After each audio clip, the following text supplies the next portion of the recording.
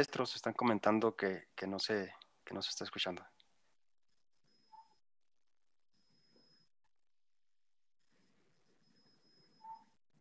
Igual hacemos una prueba, Palomares, y, y la escuchamos en 20 segundos, ¿te parece?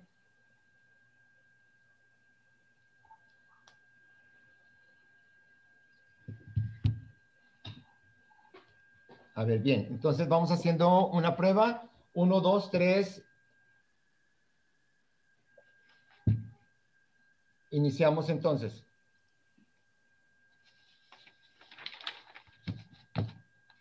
Reiniciamos nuestra transmisión y les damos las buenas tardes a toda nuestra amable audiencia. Esta tarde nos hemos reunido mediante la plataforma YouTube Live para llevar a cabo la conferencia del webinar La física de la A a la Z y que está dirigido principalmente a toda la comunidad de ciencias químicas. Permítanme comentarles que atendiendo una recomendación realizada por nuestro organismo acreditador CASEI y como parte de un plan académico tendiente a la divulgación de tópicos de interés y problemáticas actuales en diferentes disciplinas, la las academias de física, en conjunto con la Academia de la Competencia de Investigación y Análisis Científico del modelo WASH-DS, se suman a este programa académico para dar a conocer en voz de sus integrantes una serie de conferencias en donde serán abordados temas de gran relevancia e interés. También será interesante la posibilidad de ver y conocer a nuestros maestros en otra de sus facetas como investigadores que son. Esta tarde toca la participación de nuestra compañera de la facultad, la doctora María Elena Fuentes Montero, y a quien conocemos de cariño como la China. Me voy a permitir mencionar algunos aspectos de su currículum para que conozcan un poco de su trayectoria. María Elena Fuentes Montero es graduada de la Universidad de La Habana, Cuba, egresada de la carrera de licenciatura en física. Realizó sus estudios de maestría en el Centro de Neurociencias de Cuba. Finalmente, su doctorado lo realizó en el Centro de Investigación en Materiales Avanzados en la ciudad de Chihuahua, México. Durante su trayectoria profesional, la doctora se ha mantenido, ha mantenido una buena calidad y cantidad de producción científica enfocada a campos diversos relacionados con la estructura y las propiedades de los materiales. Hoy en día imparte las materias de electricidad y magnetismo y química cuántica en la Facultad de Ciencias Químicas de la Universidad Autónoma de Chihuahua. Dentro de su trabajo como docente, ha publicado tres libros de posgrado, dos textos de pregrado, una novela y varias publicaciones cortas de divulgación de la ciencia forma parte del cuerpo académico de química computacional con reconocimiento de consolidado por parte de la SEP y recibió en el año 2011 el reconocimiento del nivel 2 del Sistema Nacional de Investigadores. También forma parte de los núcleos académicos del programa de maestría en química y el programa de doctorado en ciencias de nuestra facultad tiene patentes y publicaciones en revistas de alto impacto, en este caso más de 60. Entre sus temas de investigación se destacan los temas de elucidación estructural con el uso de luz sincrotón. A toda nuestra audiencia le damos la más cordial de las bienvenidas y le recordamos que durante la conferencia podrán escribir sus preguntas en el espacio de mensajes de YouTube Live y nosotros las haremos llegar a la conferencista para que responda ella al final de su presentación. Agradecemos de antemano a la doctora Fuentes su participación en esta tarde y no me queda más que ceder la palabra a la doctora Fuentes. Bienvenida, doctora. Adelante, por favor. Bueno, muchas gracias por tu presentación tan bonita y muchas gracias a todos los compañeros de la facultad y a los estudiantes que son nuestra razón de ser también de la Facultad de Ingeniería. Creo que tenemos algunos invitados. De veras les agradecemos el apoyo a todos ustedes. Eh, por supuesto, estamos medio nerviosos los maestros. Eh, esperemos que salga todo bien. Yo hablo enredado, aunque no esté nerviosa. Así que ahora va a estar tantito peor. Pero les voy a platicar de algo que me emociona mucho. Es una especie de negocio familiar, una especie de negocio familiar que es el uso de, de los aceleradores de partículas. Eh, voy a empezar a presentar, espero que funcione bien esto, ¿sí? Entonces, ahí se está viendo mi pantalla, ¿sí es cierto?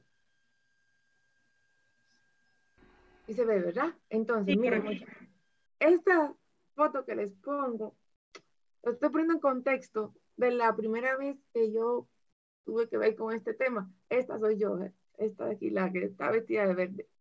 Y esta de aquí es mi madre. Mi madre hizo su doctorado en Rusia, en una ciudad que eh, vivía de la física nuclear. De hecho, la, el nombre de la ciudad se llama Dubna. Y no sé si saben que hay un elemento en la tabla periódica se llama Dumnio, que fue descubierto precisamente en esa ciudad. Esto es un homenaje, en realidad, que yo le quiero hacer a mis padres como oportunidad que tengo a través de ustedes. Entonces, bueno, aquí si se fijan, atrás hay un cartel. Ese cartel dice, el átomo no es un soldado, el átomo es un trabajador.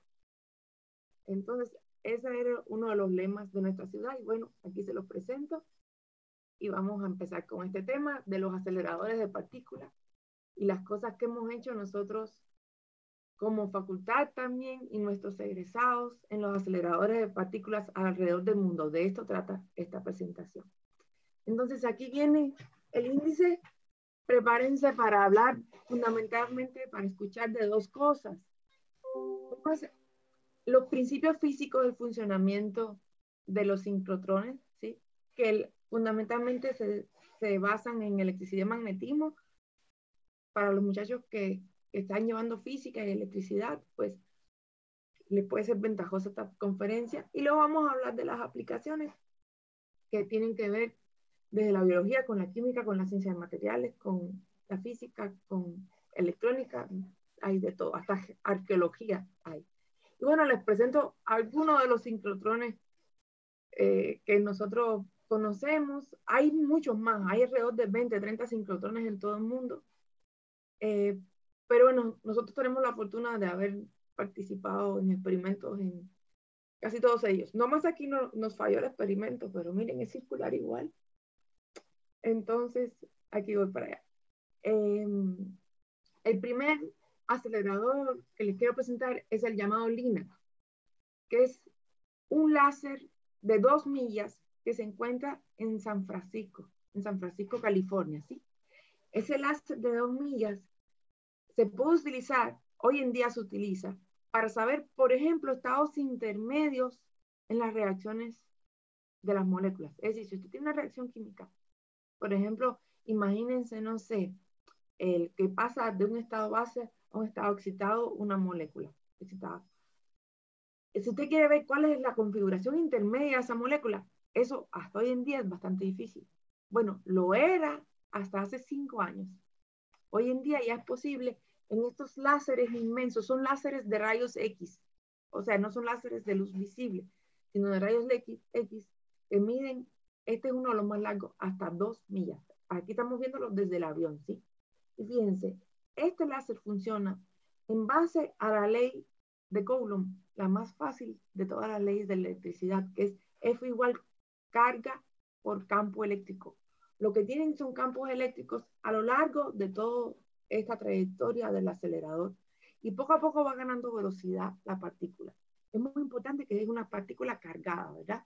En ese campo eléctrico solo se puede mover una partícula cargada. Así que esas partículas cargadas, que son electrones, eh, son emitidos por los llamados termocátodos, ¿ok? Y a su vez se ponen capacitores a lo largo de todo el acelerador lineal y estos van impulsando al electrón. Este acelerador lineal es de los más escasos que hay en el mundo y, de los, y fue el primero, hasta donde yo tengo conocimiento, en ver los estados intermedios en las reacciones químicas. Uno de los primeros aceleradores también que existió era este llamado ciclotrón. El ciclotrón, fíjense, se puede tener incluso en un lugar chiquitico como nuestra facultad. ¿Ok? Es un acelerador en el que ahora las partículas se mueven de manera circular, fíjense.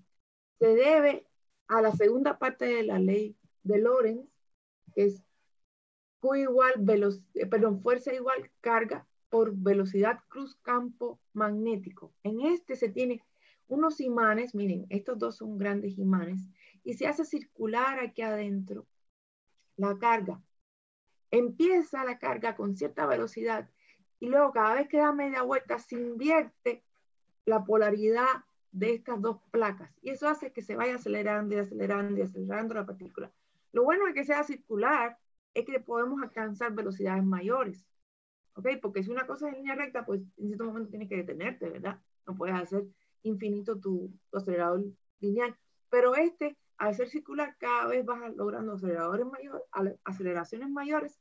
Y bueno, la partícula última que salga por aquí puede ser bastante, bastante rápida. Eh, y bueno, el sincrotrón, que es un acelerador de electrones la mayoría de las veces, aunque también puede ser de protones, tiene una estructura que se basa en una conjunción de las dos ideas de las dos ideas, fíjense. En el sincrotrón, primero tenemos aquí un acelerador lineal, como el que les expliqué al principio. Y luego aquí está llamado el booster ring, que es donde los aceleran a los electrones de la manera más rápida que permita ese anillo con la segunda parte de la ley de Lorentz, es decir, lo que les expliqué que ocurría en el ciclotrón. Y una vez que ya aceleramos los electrones aquí muy rápidamente, ya van para este anillo. Y en este anillo es donde los electrones hacen su función. ¿Y saben cuál es la función de los electrones? En el sincrotrón. Fíjense, en el sincrotrón el trabajo se hace en estas estaciones. ¿sí? Los laboratorios donde estamos los científicos es en estas estaciones. Estas estaciones reciben rayos X. ¿De dónde salieron esos rayos X? Fueron emitidos por los electrones que están aquí dando vueltas. Ustedes deben recordar que un electrón acelerado emite luz. Bueno, eso es lo que se aprovecha en realidad. Nosotros en nuestra muestra, cuando estamos aquí en alguno de estos beamlines, es como se llaman estos lugares, estos, estas estaciones de trabajo, cuando estamos ahí, nosotros eh, estamos recibiendo impacto de rayos X, no de los electrones. Los electrones siguen dando vueltas aquí y, y desacelerándose y acelerándose, desacelerándose, acelerándose y emitiendo rayos X, que son a su vez lo que se utilizan. Entonces, dentro de un ratico, eh, aquí ahora mismo, voy a detenerme porque les voy a poner, de hecho, un video de esto que ocurre. Bueno, no se lo voy a poner yo, se los va a poner el profe Carlos. Él me va a hacer favor de ponerles el video de la trayectoria que sufre un electrón en un acelerador. Carlos, pofa, primer video.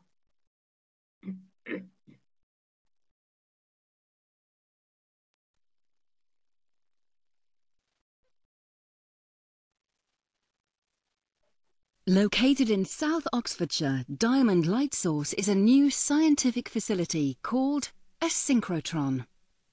It is made up of a large donut-shaped building containing the machine and an adjoining office building for the 350 scientists, engineers and support staff.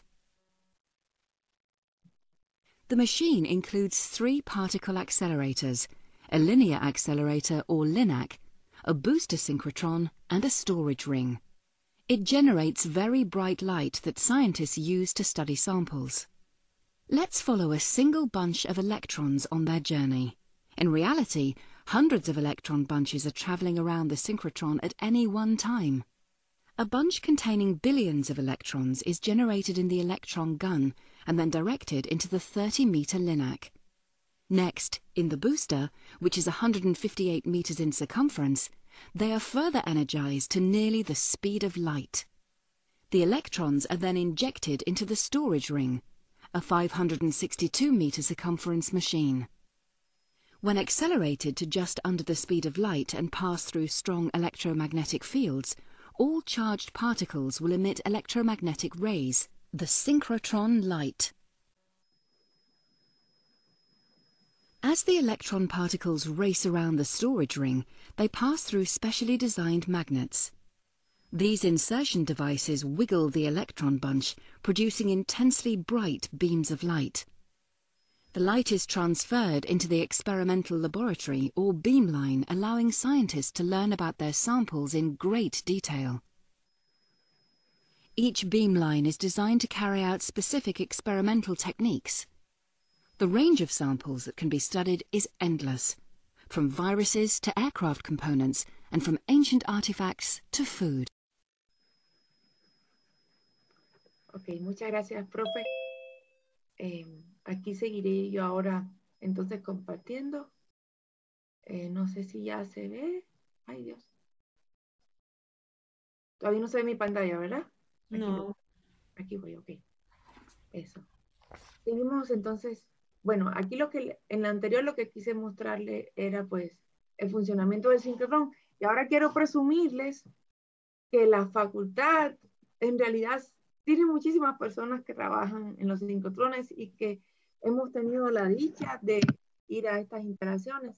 Aquí les presento a Víctor y, ay, y se me olvidó el nombre de mi querido alumno que está aquí, aquí con Víctor. Aquí está la maestra Erika, aquí están los alumnos de Erika, Julio y Juan Carlos. ¡Ah! Me sabía los nombres hasta hace medio minuto. Aquí está Isaí, que también es egresado nuestro, la maestra Laila, la maestra Lupita, el profe Nápoles, la maestra Luli, aquí nuestra egresada Rocío, y aquí nuestro egresado estrella es Iram, que es Beamline Scientist.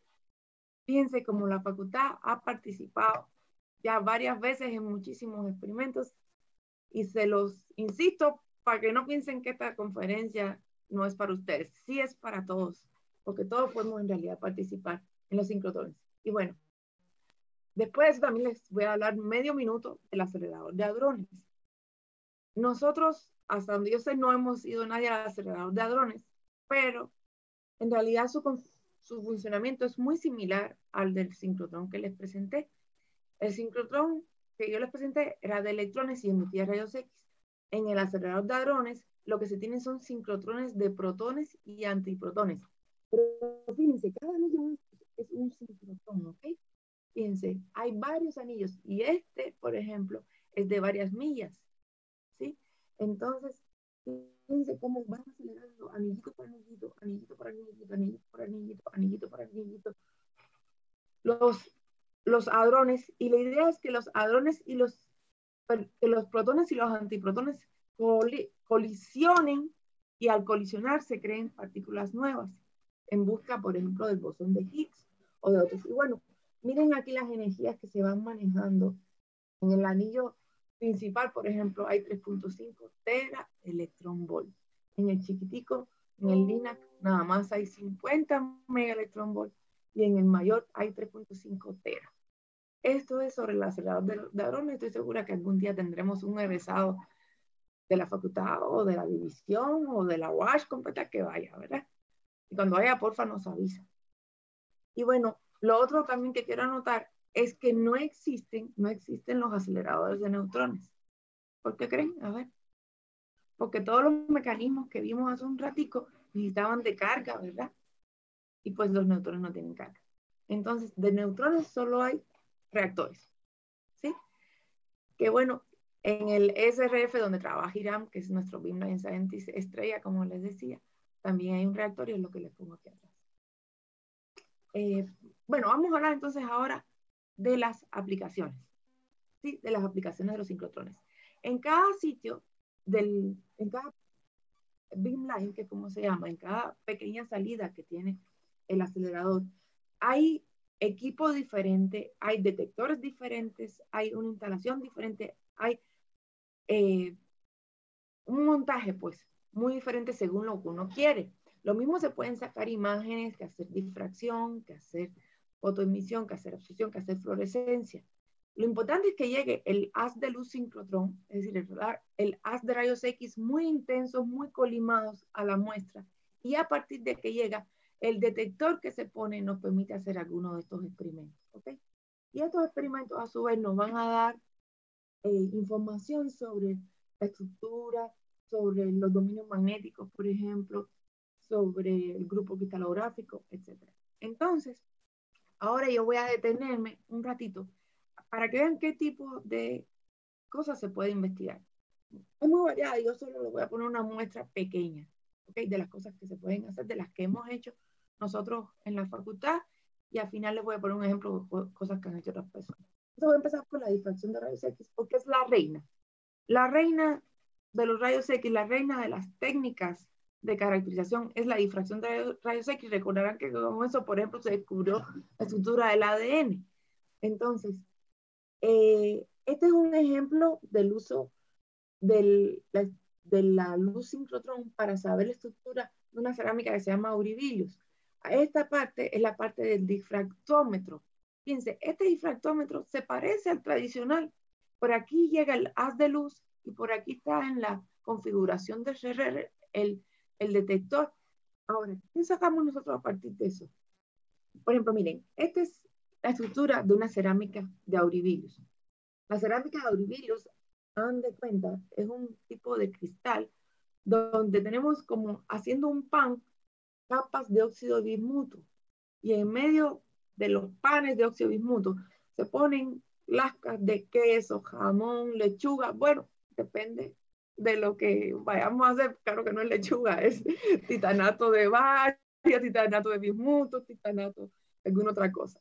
Y entonces, en dependencia del número de capas, pues se dice que es un auribilio de dos, tres, cuatro capas. Y lo curioso es que las auribilios nos sirven para hacer piezoelectricidad o ferroelectricidad. No sé si saben lo que es. Ferroelectricidad, por ejemplo, es que si yo aprieto, si yo aprieto una cerámica, hagan de cuenta, mm, una pastillita así, ¿verdad? Si yo la aprieto, aparece un campo eléctrico en, ese, en esa cerámica. Eso ya es la piezoelectricidad, ¿ok? Si yo aprieto, aparece un campo eléctrico. Eso ocurre en no todos los materiales, sino en aquellos que tienen una estructura particular. Y bueno, y tienen que tener cierta simetría. Eso se describe por este grupo espacial que está aquí. Y eso nosotros lo pudimos descubrir para esta cerámica en particular gracias a la difracción. Miren, cuando eh, nosotros llevábamos esta muestra a un difractómetro convencional, este pico parecía uno solo. Pero gracias a las capacidades que tiene la luz sincrotrón, que es muy intensa y muy colimada, eh, pudimos desdoblar ese pico. Y esta ruptura de la simetría es la que permite que sea piezoeléctrico y también ferroeléctrico. Pero el chiste es que para ser piezoeléctrico o ferroeléctrico tiene que haber esta ruptura. Y solo se descubre si uno va al sincrotrón. Si no, le parece que lo que es es cúbico y, o tetragonal, pero no lo es. Entonces, eh, Aquí salió que este era un grupo ortorrómbico. Es un grupo en particular particular de cristalografía. Si no han llevado cristalografía, eh, les sugiero mucho que lo lleven en la escuela. Todos los maestros que dan esa asignatura lo hacen muy bien. Y también les presumo lo que hizo nuestro maestro Carlos, que está ahí presente. Esto fue su tesis de maestría, que fue sobre un material magnetoeléctrico. Los materiales magnetoeléctricos son materiales muy particulares. Fíjense lo que hacen, miren un material eléctrico, yo lo pongo en un campo eléctrico y genera un campo magnético. Es decir, lo pongo en un campo eléctrico y se convierte en imán. ¿Ustedes han visto eso alguna vez? O lo pongo en un campo magnético y se polariza, es decir, aparece un campo eléctrico en él. Esos no son materiales comunes. Y el profe Carlos de la Vega, que es un químico extraordinario, fue el que sintetizó por primera vez prácticamente este material, la ferrita de bismuto. Y esta ferrita de bismuto dio un magnetoeléctrica.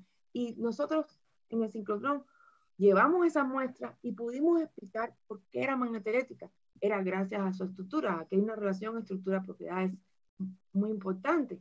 Y entonces, bueno, eso se publicó en esta revista, en una muy buena revista, y salió, por ejemplo, que la estructura del hierro y los oxígenos no era totalmente simétrica, sino era así como la ven aquí, como un poco deformada. Eso es lo que permite precisamente que sea magnetoeléctrico el material. Bueno, esto es lo que se refiere a la difracción de, de cristales eh, obtenidos por el hombre. Pero yo quiero ahora que Carlos nos muestre el uso que se hace en proteínas con otro video que él nos va a poner. Esto debo haber dejado de presentar, ¿verdad, Carlos? Porque en proteínas es uno de los usos más importantes que hay de la difracción de rayos X. Así que le doy el lugar a, a Carlos. Sí, permítame.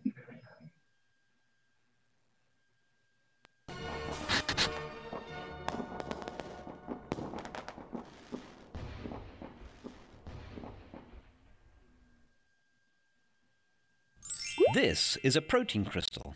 It's pretty small, at just one tenth of a millimeter thick, but the millions and millions of protein molecules stacked inside it are even smaller.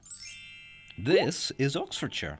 It's about 50 kilometres in diameter, somewhat larger in comparison, but it's where scientists from around the world come to analyse their tiny protein crystals. And that's because it's home to this. The diamond light source, a particle accelerator that can generate beams of light 10 billion times brighter than the sun. Compared to our crystals, the diamond light source is absolutely gigantic.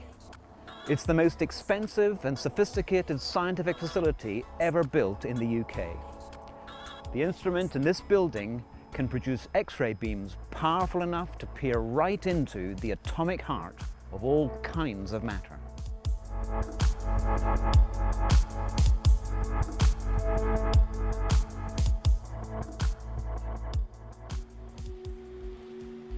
Diamond is used by scientists in many different fields, but nearly half the users are structural biologists doing X-ray crystallography.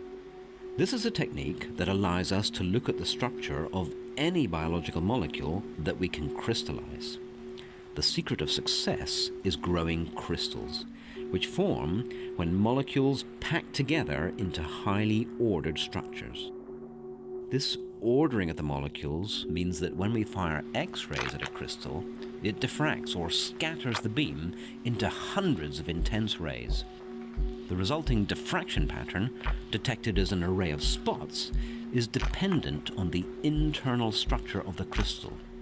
And by measuring the intensities and positions of these spots, we can work back to the structure of the molecule it is made from. It's a method that has opened our eyes to life at the molecular level.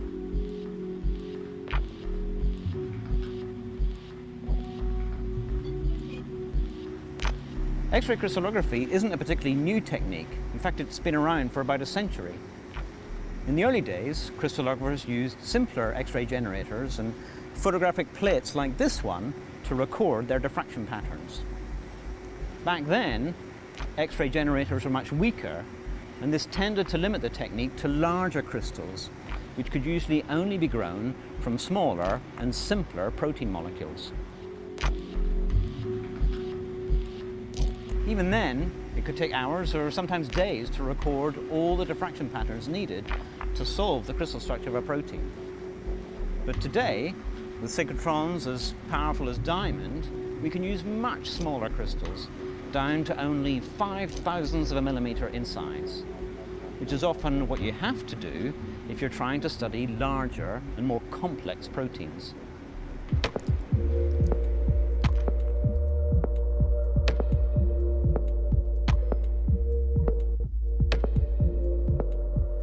Here at the core of the synchrotron is a particle accelerator ring that accelerates electrons to close to the speed of light.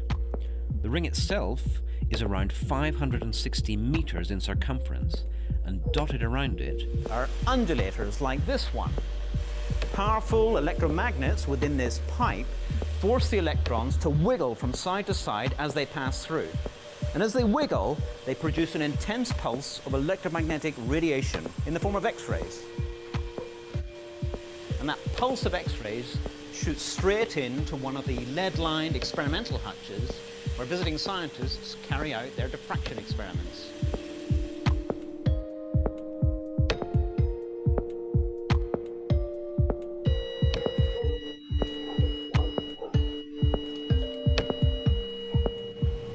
During the experiment, the crystal, which is mounted on the end of this little pin, is cooled by ultra-cold nitrogen gas from this nozzle to help it withstand the punishing radiation.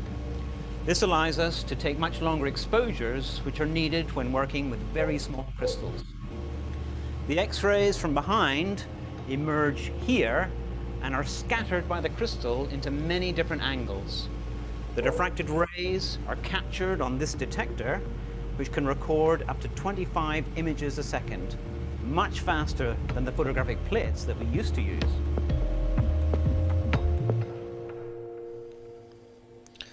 So what do we do with this information?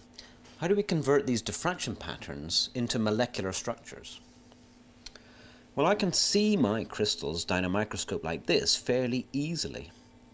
What I'm doing here is using lenses to make a magnified image of a tiny object. And that works because the lens can recombine or focus the light scattered from an object to make an enlarged image. Because a molecule is much smaller than the wavelength of light, you're never going to be able to see it using an instrument like this. Instead, we use X-rays, a form of light that has a wavelength about the size of an atom.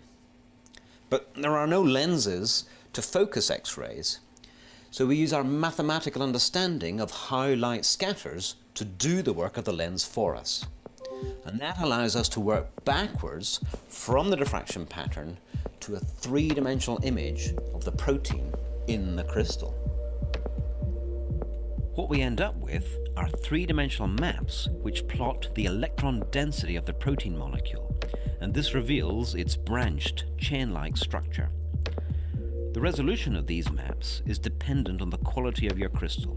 The better they are, the more accurate your model is likely to be. Originally, crystallographers would painstakingly build these 3D models by hand, but now we rely on computers to generate them. With good quality data, these maps are stunningly detailed. You can see the lumps and bumps of every atom, every twist and turn of the protein chain.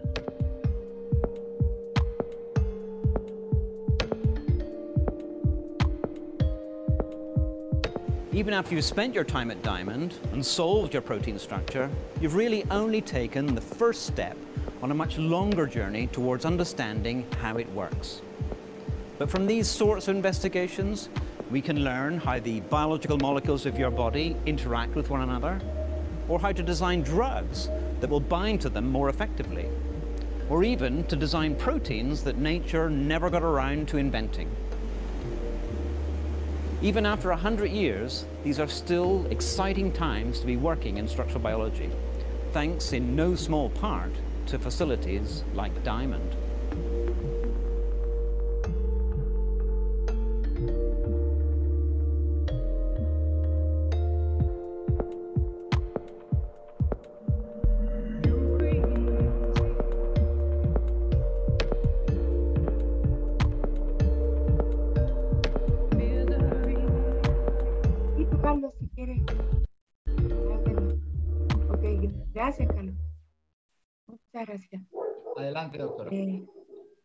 Excelente.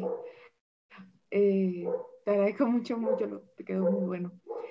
Chicos, no sé si, si les gustó lo de la cristalografía de proteínas, déjenme decirles, ahí se, se unen muchas partes desde el, la, el hacer el cristal, el hacer que cristalice la proteína, hasta después mantenerlo en frío, en el sincrotrón, hacer la medición y finalmente cuando uno se lleva a casa el difractorama, trabajar con el difractorama y convertirlo en una estructura, eso es un trabajo arduo, ¿sí? Y bueno, siempre son equipos grandes de trabajo los que trabajan en eso. Entonces, lo que quiero decir con eso es que tenemos el potencial para hacerlo y tendríamos que unirnos, ¿verdad? Para poder hacer ese tipo de trabajo. Yo creo que todavía en la facultad no se hace, pero sería pues muy bueno. Bueno, entonces ahora voy a seguir mostrándoles otras técnicas que también se hacen en el sincrotrón. Ahora les voy a hablar de la fluorescencia de rayos X. Me imagino que se ve bien mi pantalla. Aquí dice XRF, eso quiere decir fluorescencia de rayos X, ¿sí? Entonces, esta técnica, por ejemplo, la ha usado la maestra Luli, Luli Ballinas, ¿sí? Ella la ha usado para saber si logra remover arsénico y qué tipo de arsénico logra remover, ya sea con eh, bacterias sulfurreductoras o también a veces lo hace con membranas. Para eso nosotros fuimos al sincrotrón de Stanford, al Beamline 2.3. En este sincrotrón uno puede eh, detectar por zonas, miren, estas imágenes muestran por zonas dónde hay qué elemento, ¿ok?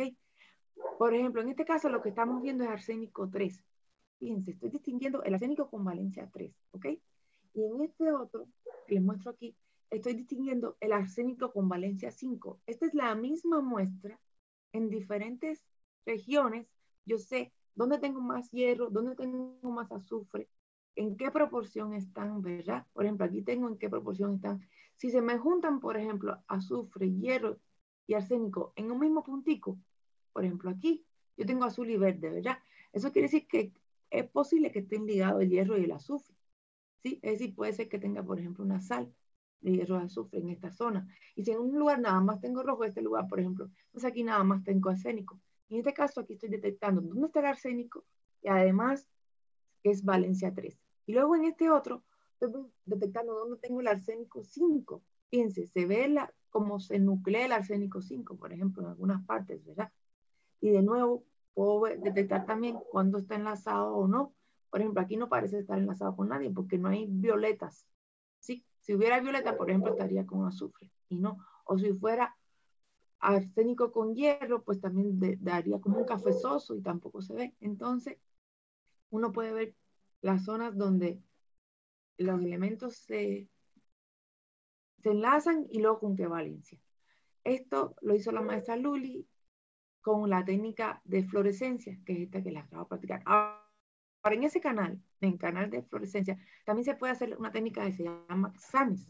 La técnica de XANES es para una caracterización e identificación más pormenorizada. Eh, se, basa, se basa en la excitación y la extracción de un fotoelectrón de lo más adentro de las capas electrónicas de un, de un elemento químico. Es decir, el elemento químico blanco recibe los rayos X y saca un electrón de los niveles internos del átomo. Y cuando esos electrones del nivel interno salen hasta afuera, ellos provocan eh, una reacción en cadena, como quien dice, no es en cadena, pero lo que quiero decir es que empiezan a viajar por el material y se refleja y se vuelve a recibir. Y la interpretación de eso, la interpretación de, del patrón que da, miren, en la interpretación de esta llamada estructura fina de absorción de los rayos X, da estos patrones. Fíjense que es diferente de lo que habíamos visto de rayos X. Y la forma de, de esta curva, la forma, por ejemplo, de este pico, caracteriza cómo está enlazado ese elemento que fue blanco, que fue blanco de los rayos X. No va a ser igual, por ejemplo, que se llama white line. Si, si está enlazado digamos, tetraédrico que si está enlazado octaédrico, el elemento químico. Entonces aquí podemos incluso ver, eh, pues, alrededor del átomo cuáles otros hay y en qué coordinación. Eh, les voy a mostrar cómo lo hicimos, por ejemplo, eh, en una aplicación para los cristales de Naica. Yo no sé si ustedes saben que los cristales de Naica son una cosa fascinante, increíble, que son los cristales más grandes del mundo que ha hecho la naturaleza y que, bueno, son, hagan de cuenta, la capilla sistina de los cristales, ¿ok? Entonces, los cristales de Naica tienen su origen. ¿En qué? A ver, esa es la pregunta en realidad. ¿Cuándo se originó y qué fue lo que creó los cristales de Naica? Si es tan difícil hacer una proteína así chiquitica, cristal, si es tan difícil obtener una muestra así chiquitica, ¿cómo es que en Naica se, se crearon cristales de 11 metros de longitud? Bueno, esa pregunta se puede responder siempre trabajado en equipo, y, y, no solo en Chihuahua, sino de equipos de muchos países, con técnicas como esta que les platico. Le pongo SANES junto con fluorescencia, porque el SANES siempre se hace junto con la fluorescencia. O sea, primero uno siempre hace fluorescencia y luego hace SANES. Y aquí lo hicimos en regiones muy chiquitas del cristal. Miren, aquí está la fluorescencia y aquí los patrones de XANES. Y aquí, por ejemplo, pudimos ver el cristal dentro del propio cristal de yeso, que es de lo que son los cristales de Naica, había hematita, había esfarelita, había algunos compuestos de manganeso. Y eso nos habla de cómo se fue arrastrando de la pared de la cueva hacia el cristal a medida que siga formando el cristal. Y nos habla, incluso un poquito, nos sirve para datar la edad de cada parte del cristal, ¿sí? Este es un trabajo, está por publicarse ya una parte muy bonita, eh, hecha por un egresado de la Facultad de Ingeniería. Eh, y el profe Nacho Reyes también participó, y el profe Manuel Reyes. Eh, y el estudiante mm, Bernardo. Bernardo, ah, no me acuerdo el nombre, el apellido Bernardo, pero me acordé el nombre del estudiante, no, no me pueden decir que no me acordé. Entonces, les presento estos parques Vean que también se pueden hacer cosas de geología. Y bueno, regreso a las cerámicas funcionales. Ya creo que tengo poco tiempo y no quiero dejar de enseñarles la cereza de pastel. Así que aquí les muestro, por ejemplo, que el Edge del Xanes me sirve para ver esto que les digo de los estados de oxidación y las distorsiones. Chicos, esto es como una propaganda para cuando ustedes quieran eh, meter un meter una propuesta que uno de los sincrotrones sepa que se pueden hacer todas estas cosas. Y bueno, por ejemplo, con otra técnica que se llama EXAF, también se puede saber incluso cosas de un poquito más lejano alcance, como que en las aurilios, ¿se acuerdan el pan con, como el que se está comiendo el profe Marco? El pan con, con cosas por dentro, que si jamón, que si queso, que si lechuga. Bueno, nosotros descubrimos que en aurilios de este tipo, por ejemplo, el hierro suele ponerse aquí en el medio y ya estas partes son de titanio y eso también cambia las propiedades. Sí, y por último, creo que ya tengo aquí la cereza del pastel. Ahora quiero de nuevo pedirle al profe em, Carlos de la Vega que nos comparta. Profe, nomás no me quite el audio, porque este audio que les estoy pidiendo, profe, que nos comparta ahora, este, perdón, este video, es de la técnica de microtomografía multidimensional. Es de un artículo muy reciente, ¿sí? De 2019. Y bueno, no es un video de propaganda como los anteriores. Entonces yo misma le voy a poner el audio. Eh, le pido al profe que lo ponga. Fíjense, a ver si identifican qué es lo que estamos viendo. Fíjense, poco a poco, a ver, ¿qué creen que es eso? Es la momia de un cocodrilo un cocodrilo, egipcio. Agarraron un cocodrilo allá en Egipto y lo metieron a beamline de microtomografía multidimensional. Y miren lo que logran hacer. Tienen ahí el, el cocodrilo envuelto en unas gasas, ¿verdad? Y luego van a ir disectando capas sin abrir el cocodrilo en realidad. Todo esto es con la pura técnica de tomografía. Fíjense, ya le quitamos la piel al cocodrilo y ahora estamos viendo todos los huesos del cocodrilo momificado. ¿Lo ven? Fíjense, para empezar aprendimos que los egipcios momificaban no solo a las personas, sino a los cocodrilos también. Y ahora, fíjense, están dentro de la cabeza del cocodrilo. Vean ahí la cabeza, la dentadura del cocodrilo y vamos a ver qué sucede allá adentro. A ver, dentro del cocodrilo, dentro del cocodrilo vemos todas sus, sus partes internas, las escamas, la cola del cocodrilo, vemos cada huesito de cocodrilo, nos regresamos, podemos meternos por dentro, hacerle, pues esos son ya órganos internos del cocodrilo, seguimos por dentro. ¿Y qué había dentro del estómago del cocodrilo? Miren lo que se ve, se ve adentro del cocodrilo momificado, que se había comido un ratoncito. Véanlo, todo con la técnica esta. Y luego vemos las partes del ratoncito como si fuera el propio cocodrilo. Ahora de nuevo lo vamos separando en pedacitos el pobre ratoncito masticado que ya está plano. Y todavía el ratoncito van a ver que se le puede ver. Ese es el ratón dentro del cocodrilo, ¿ok? Y finalmente, finalmente ahí va a llegar, va a llegar, va a llegar. Miren el nivel de resolución que tiene esta técnica. Por último, de ese ratoncito dentro del cocodrilo momificado, vamos a lograr ver la dentadura del ratoncito. Entonces, bueno, con esto lo que les quiero decir es que realmente en el ciclotón se pueden hacer cosas extraordinarias, incluso de arqueología, que precisamente es una de las cosas que trabaja. Ya Es de las cosas que trabaja Irán en su, en su Beamline. Entonces, bueno, eh, me voy a poner yo de nuevo aquí a, a compartir la pantalla. Eh, yo los invito mucho a que usen los sincrotrones, ya sea usted químico, geólogo, minero, lo que guste, hay aplicación para todos. Y quiero agradecerle muy especialmente a la ciudad donde yo me crié de niña, a la Facultad de Ciencias Químicas, que siempre nos ha apoyado de los maestros cuando queremos ir a divertirnos al sincrotrón, nos dejan ir eh, y nos apoyan también con dinero.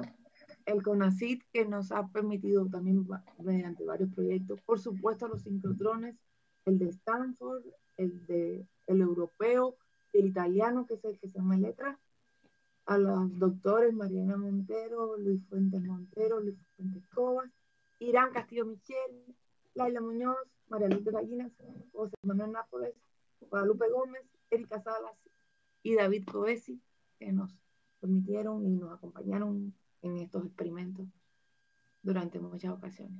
Y bueno, hasta aquí. Muchas gracias, muchachos. Estoy lista para las preguntas, ampliárselas. Muchas gracias, doctora Marilena Fuentes. Eh, vamos a dar, este, bueno, tengo por aquí una pregunta de la audiencia en YouTube eh, del doctor Víctor Hugo Ramos eh, Sánchez que dice, ¿qué diferencias presentan los neutrones y los muones con respecto a los rayos X en los procesos espectroscópicos y de difracción? Ok. bueno, puedo hablar de los neutrones y los rayos X en difracción. De los muones en difracción, nunca he escuchado hablar.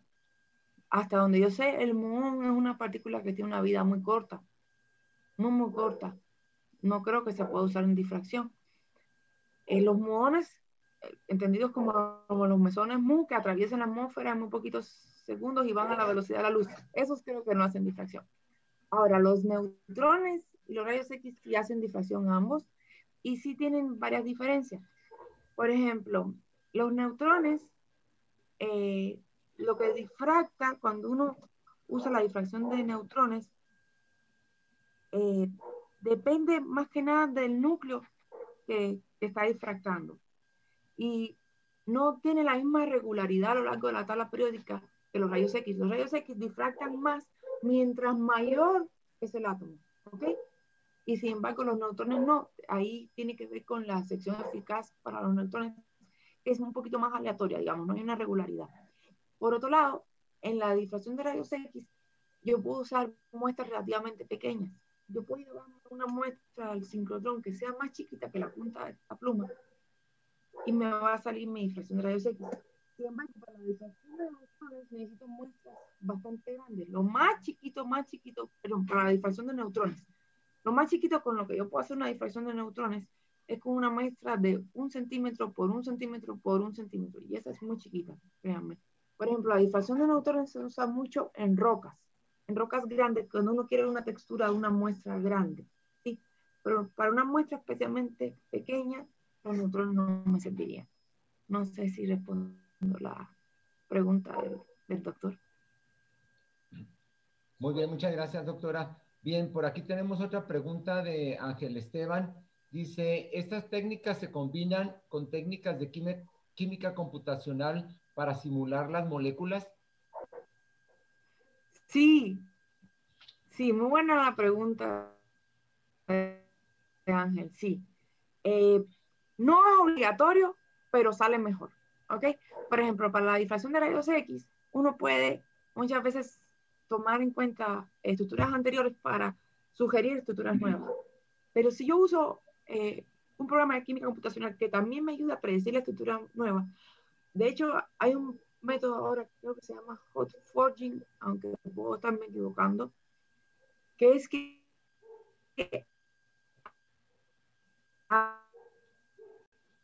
además de hacer el Rydberg, que es el método que se usa calculando la energía de la estructura, y busca aquella estructura que más se parece el patrón teórico al experimental, pero también que hace disminuir la estructura del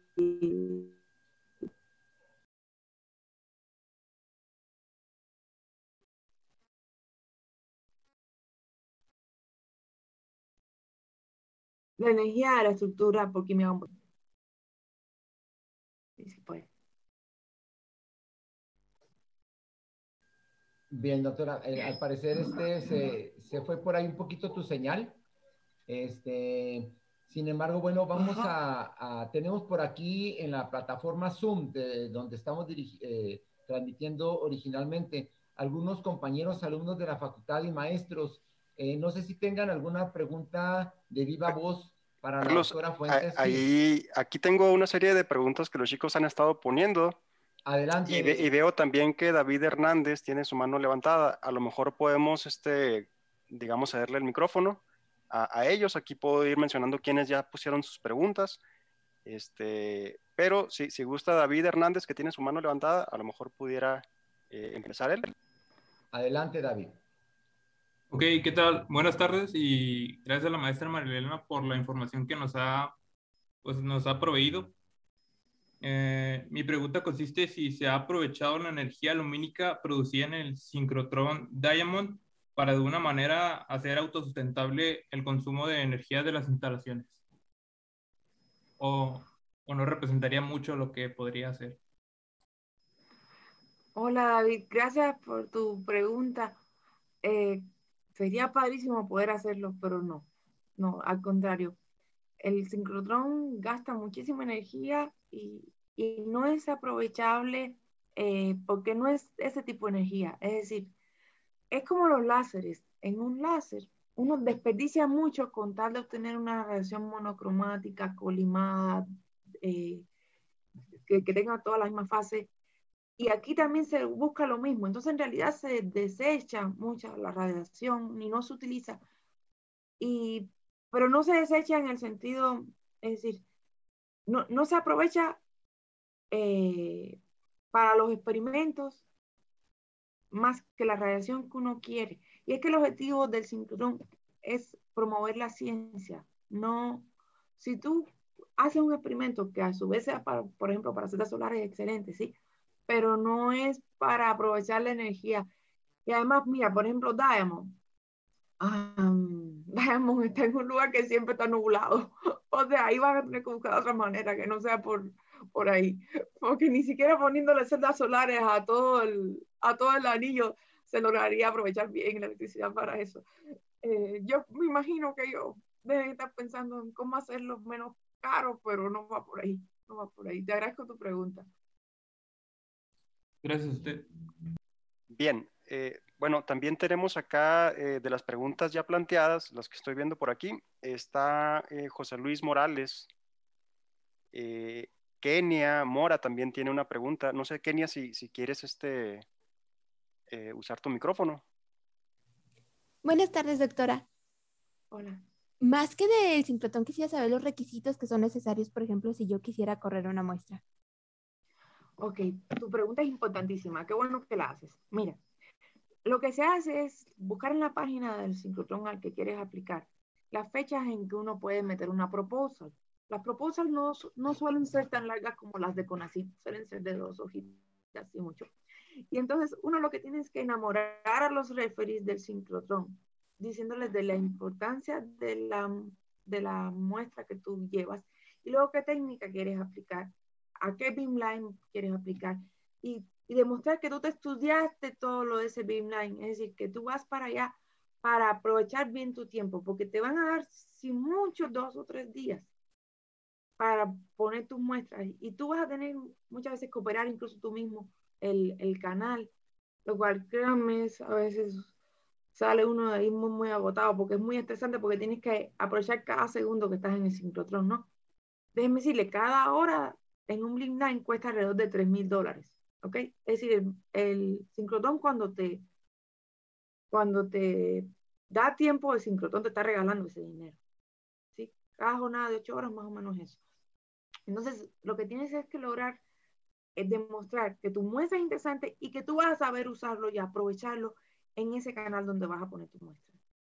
Tú envías tu propuesta y si cumples con esos requisitos que te acabo de decir, si tienes publicaciones que demuestren que tú eres capaz de obtener buenos resultados, ellos te van a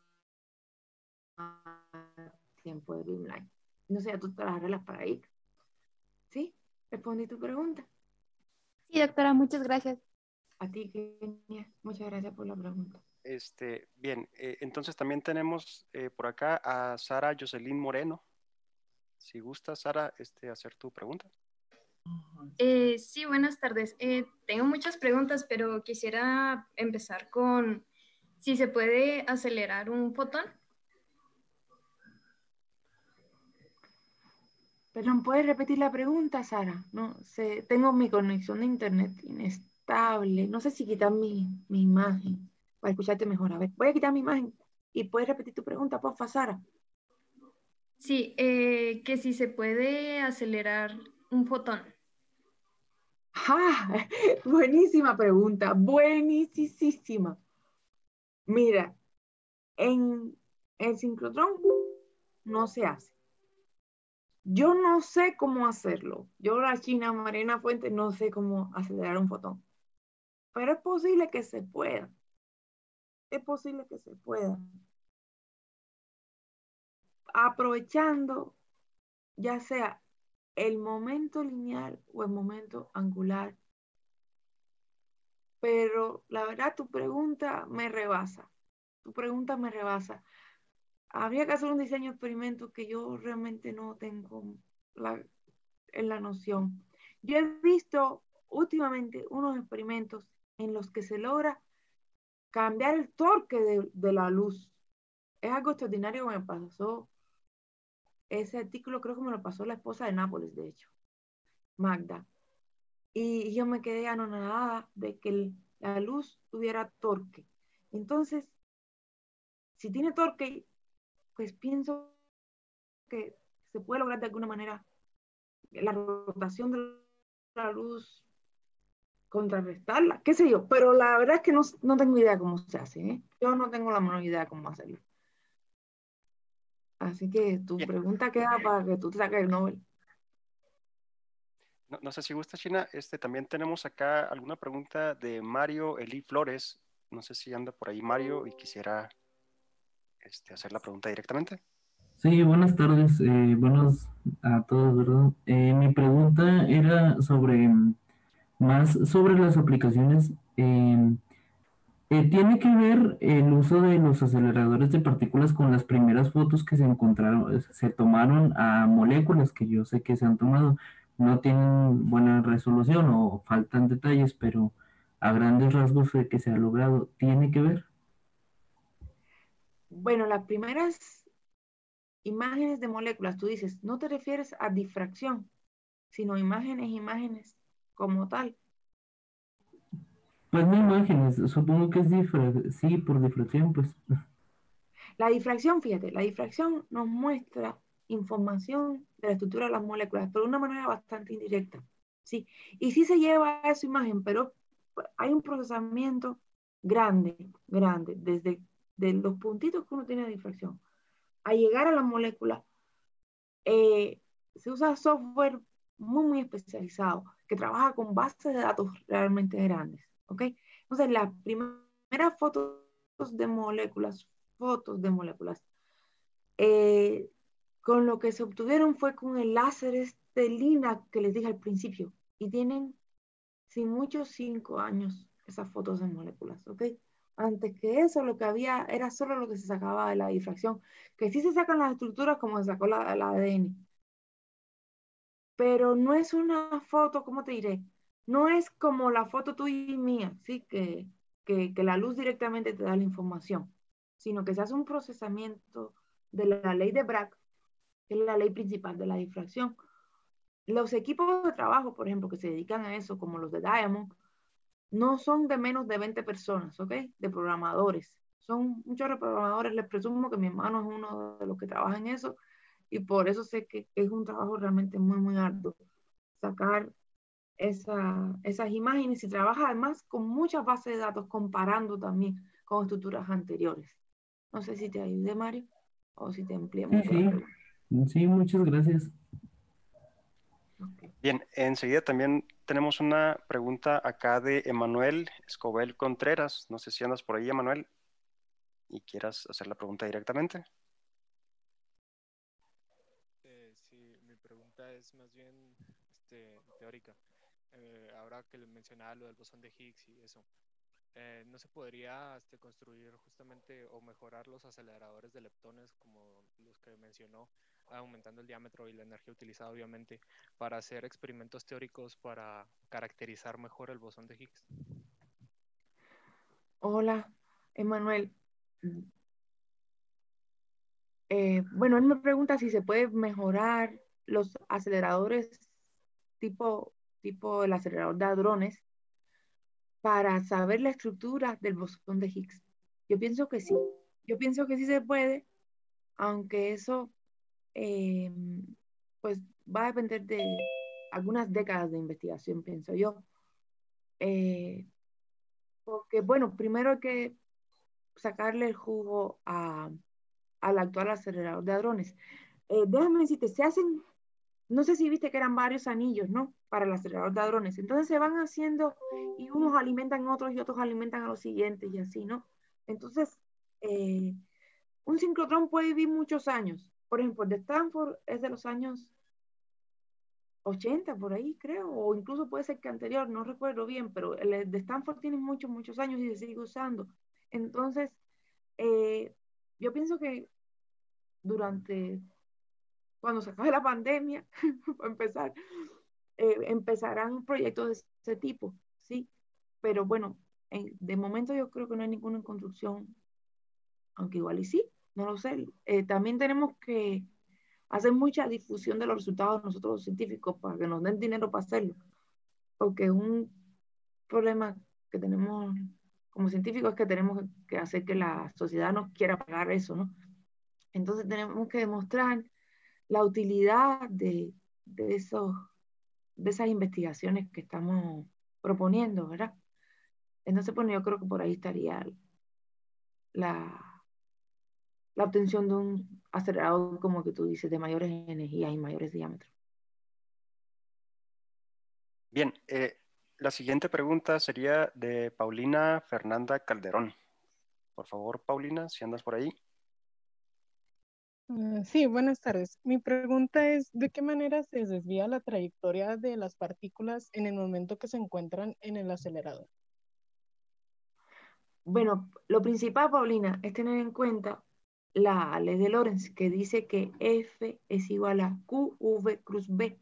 B es el campo magnético, ¿sí? Entonces, si tú tienes una partícula que tiene cierta carga y cierta velocidad, el campo magnético va a aumentar esa fuerza, ¿sí? Esa fuerza, fíjate, siempre va a ser perpendicular a la velocidad que lleva. Entonces, eso es lo que hace que vaya en, un movimiento circular.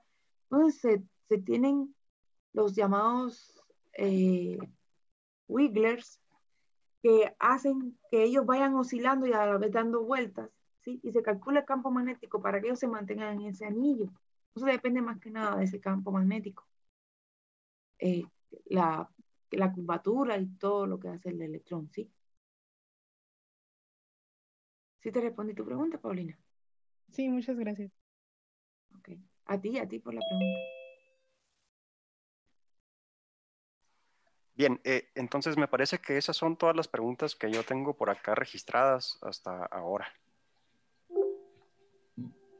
Muy bien, muchas gracias, doctor Nápoles. Este, pues bien, yo creo que se ha abordado de manera muy interesante todo este tema y las preguntas que se han hecho también han abonado a la participación de la doctora Fuentes. Eh, ya rebasamos un poquito el tiempo eh, que estaba programado originalmente. Eh, mm, vamos a terminar con esta presentación, no sin antes agradecer a la doctora Fuentes por su conocimiento, por su tiempo, por su voluntad para dar esta primer conferencia de este webinar física de la A a la Z. Quiero agradecer a todos los asistentes, eh, tanto a la plataforma Zoom como a eh, los que se conectaron por medio de YouTube Live. Eh, también no quiero dejar pasar la oportunidad de agradecer al doctor Nápoles, al doctor Palomares y a la doctora Rocío Anchondo, que fueron quienes hicieron posible toda esta parte tecnológica para llevar a cabo esta conferencia por medio de YouTube Live. Quiero mencionarles, jóvenes, que les recordamos que aquellos alumnos que estén interesados en participar activamente en las próximas conferencias se pueden registrar en el sitio del webinar en la parte de abajo donde está la encuesta eh, para este, ser considerados en la siguiente conferencia. Nuestra siguiente conferencia es el próximo martes a la misma hora, a las 5 pm, con la presentación del doctor Marco Chávez. Queremos entonces dar por concluida esta primer conferencia de la doctora María Elena Fuentes, a quien una vez más le agradecemos eh, su participación. Muy amable doctora Fuentes, a toda nuestra amable audiencia les damos las gracias por participar y deseándoles muy buenas tardes. Gracias. Hasta luego. Muchas gracias. Muchas gracias. Hasta luego, que tengan buenas tardes.